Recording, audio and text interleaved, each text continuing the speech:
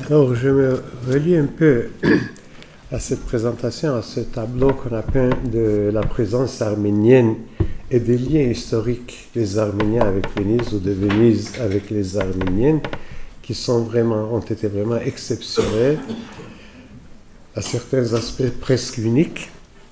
Pour dire, pour vous dire tout de suite, car je dois parler un peu des dessins de l'abbé Mekiter et de sa conception, surtout ecclésiologique, qui anticipe de deux siècles ce que nous appelons l'écuménisme moderne, contemporain. Alors, je pense, et je m'en convainc toujours de plus en plus, que la congrégation de Mekhitar n'aurait pas pu trouver un asile dans aucune autre ville de l'Europe sauf Venise. Et pour quelle raison? Car Mekhitar, l'adhésion de Mekhitar à l'Église de Rome, sa communion avec l'Église de Rome est évidente. Mais c'est une communion d'outsiders, complètement d'un genre unique qui n'a pas un similaire, surtout en cette époque post-tridentine. Pour trouver quelque chose de semblable, ça devient une question théologique, il faut aller jusqu'au début du christianisme. Le modèle de la communion dans l'Église primitive. Naturellement, il est aussi l'homme de son temps et il est bien conscient des exigences de Rome. Mais son choix de Venise, et je pense, ça a été le choix de la providence divine.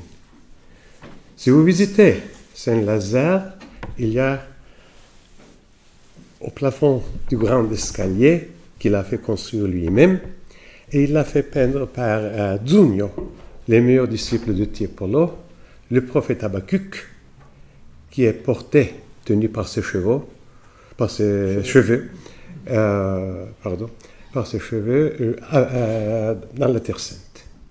Et Mekitar se voyait représenté dans ce prophète. Il a été pris par sa tête, par ses cheveux, pour être porté de sa native Sébaste de Constantinople où il a fondé sa congrégation à Venise. Pourquoi je pense que Venise était unique pour accueillir Mekitar Car la catholicité de Venise aussi était unique. Nous savons, tous qui ont étudié l'histoire, que politiquement, l'adversaire majeur de la République sérénissime de Venise était le Saint-Siège de Rome, qui était la plus grande alliée de la royauté de, France. Et entre Venise et France, naturellement, il y avait, disons, une, une, adversité politique, une contrariété politique. Mais Venise était aussi en même temps un État très catholique. Je me souviens toujours des mots que prononçait le cardinal Marcoce, le patriarche Marcoce, quand il accueillait le cardinal Angelo Scola pour lui consigner son trône. Il a dit Rappelez-vous, Éminence, que vous, que vous allez monter sur un siège qui a été toujours euh, le siège d'une fille très dévouée à l'Église catholique, mais jamais pour cette raison elle a abdiqué à sa souveraineté politique. Et Mekitar, comme avait un modèle que je voudrais expliquer en quelques mots, c'est un sujet très compliqué naturellement, d'une catholicité tout à fait disons, très singulière, surtout presque incompréhensible à l'époque, alors il trouvait un partenaire dans la République de Venise. Il était continuellement accusé, accusé de duperie, de double jeu par les missionnaires qui, travaillaient en Orient, de tous les autres. Peut-être parmi les missionnaires, quelques jésuites a été parmi les plus ouverts, comme le jésuite qu'il rencontre à Erzuro, Magarine. On pense que ce soit le périote, mais il manque encore des études approfondies pour la chronologie, pour voir si en cette période le périote pourrait être, pourrait être à Erzuro. Mais j'admire toujours le père Antoine Beauvolet. C'est un chef-d'œuvre de missionnaire. Peut-être aujourd'hui même. Unique, je dirais, sinon très rare. Quand Mekitar lui exprime son désir qu'il soit envoyé par lui à Rome pour étudier chez les, chez les jésuites pour ses études théologiques, il dit Non, tu ne vas pas à Rome, tu restes chez toi et tu restes arménien, tu ne deviens pas jésuite. Le Seigneur a préparé pour toi une autre voie. Même aujourd'hui, je pense, appartenant à tout autre religieux, aurait fait une fête de joie si quelqu'un lui propose d'être membre de sa congrégation ou de son ordre religieux. Le Père Beauvolet voyait très lucidement, très clairement, loin. Alors, chaque fois que Mekhitar était accusé par les missionnaires surtout euh, de faire un double jet de Dupré, etc., il était convoqué à Rome. Et il allait, avant de se présenter au pape, au Quirinale, le palais du président de la République d'Italie aujourd'hui, qui était, tout le monde le sait, le palais des papes. Il a été confisqué lors de l'union de l'Italie euh, en 1861. Alors, avant de se présenter au pape, il allait chercher, il allait chercher l'ambassadeur de Venise, qui avait son logement, sa résidence au Palazzo Venezia, à Piazza Venezia. C'était un des plus beaux palais de Rome. Et c'était toujours l'ambassadeur de Venise qui l'accompagnait au Quirinale chez le pape comme un message très évident, très explicite, que ne touchez pas cet homme-là. Il est notre concitoyen. Il est notre homme de confiance. Et toujours, ou plusieurs fois, tous les curés de Venise faisaient des recueils de signatures pour dire à Rome, au Saint-Siège, au souverain pontife, Mekitar n'est pas, ou les Mekitaristes, après sa mort naturellement, euh, cette histoire euh, se continue jusqu'à 1857. La dernière, euh, le dernier recueil de signatures que j'ai trouvé appartient à cette date. Pour dire que nous connaissons ces religieux-là, ils, ils, ne sont pas seulement des religieux, des moines exemplaires, mais ils sont aussi de profonde foi catholique, mais d'une façon qui était tout à fait très originale. Et c'est un peu cette originalité que je voudrais toucher aujourd'hui assez brièvement, naturellement, dans les limites de notre temps à disposition. Alors, l'idée fondamentale qui guide Mekiter, c'est la suivante. La communion avec un centre ecclésial ou ecclésiologique ne signifie jamais une renie ou une modification de la situation précédente où on se trouve. L'expression ou la formulation la plus explicite de ce principe est non seulement au niveau dogmatique, mais au niveau canonique, qui est encore plus important, a été fait, je pense, par François, le pape François, en deux occasions. Je pense peut-être si explicitement pour la première fois en Arménie et la deuxième fois plus explicitement encore et de façon plus détaillée à Istanbul, au patriarcat de Fenech, chez le patriarcat, disons, écuménique, quand il a fait sa visite en 2014, à fin novembre. Il a dit que dans le cas dans l'hypothèse d'une union éventuelle entre les églises, les églises orientales maintiennent, parfaitement leur statut canonique où ils se trouvent actuellement. Ces paroles, soit à Yerevan qu'à Istanbul, moi-même j'ai entendu avec mes oreilles. Et c'est un principe qui bouleverse tout le système précédent et bouleverse aussi, il faut le dire très ouvertement, le système qui dirige, qui règle actuellement les relations des églises catholiques orientales unies et de l'Église de Rome. Donc, c'est une nouveauté absolue que le pape a prononcée, mais qui faisait partie de l'idéal de Mekiter. Un seul exemple. Jusqu'à l'an 1830, les éditions méquitaristes portent l'expression sous le catholicosat de sa sainteté, catholicos de tous les Arméniens, etc., etc., donnant le nom du catholicos. Mais en s'unissant à Rome, n'a jamais pensé de, se détacher de l'Église arménienne. Je ne dis pas l'Église apostolique arménienne, car cette expression Église apostolique, comme, disons, formule de dénomination confessionnelle, est plutôt récente. Dans tous nos livres liturgiques, dans toutes les éditions, c'est, par exemple, Charagnot ou Jamagar Kutyun, qui signifie textuellement l'église des Arméniens. Ce n'est même pas l'église arménienne. L'église Hayastania, c'est Hayastaniak sont les Arméniens. Ce sont les gens de l'Arménie. Aujourd'hui, nous dirons, dans une expression un peu plus populaire ou vulgaire, Hayastansi. C'est pas ça, même ça ne sont pas très, très élégants.